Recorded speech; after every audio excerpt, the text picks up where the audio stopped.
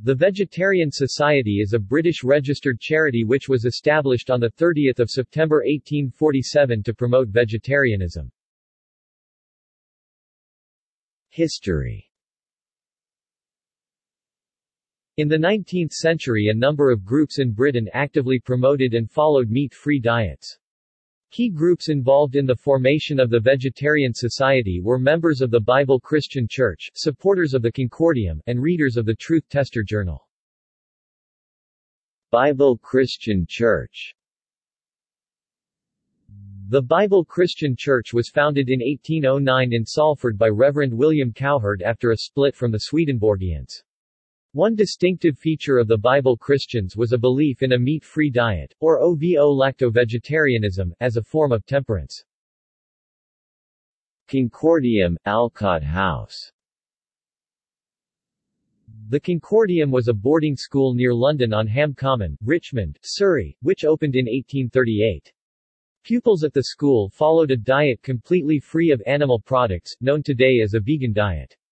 The Concordium was also called Alcott House, in honor of American education and food reform advocate Amos Bronson Alcott. Truth Tester and Physiological Conference, 1847 The Truth Tester was a journal which published material supporting the temperance movement. In 1846 the editorship was taken over by William Horsell, operator of the Northwood Villa Hydropathic Institute in Ramsgate, Kent. Horsell gradually steered the truth tester towards promotion of the vegetable diet. In early 1847 a letter to the truth tester proposed formation of a vegetarian society. In response to this letter, William Oldham held what he called a physiological conference in July 1847 at Alcott House. Up to 130 attended, including Bible Christian James Simpson, who presented a speech.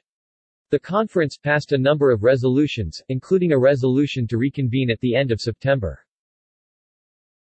Ramsgate Conference, 1847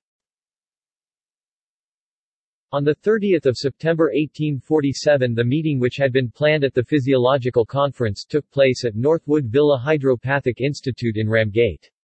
Joseph Brotherton, Member of Parliament for Salford, and a Bible Christian chaired.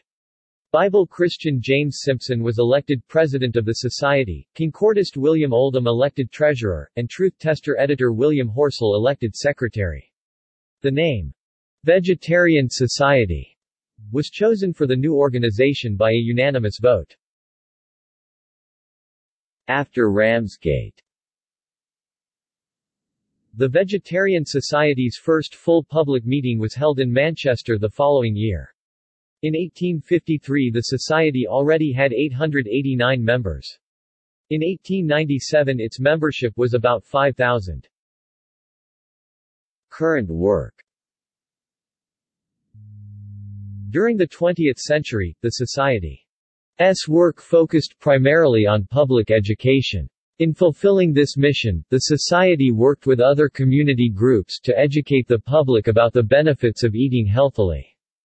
The Vegetarian Society also participated in political events, as a pressure group with the aim of influencing food producers to remove non-vegetarian ingredients such as gelatin or cheese produced using animal rennet from their products.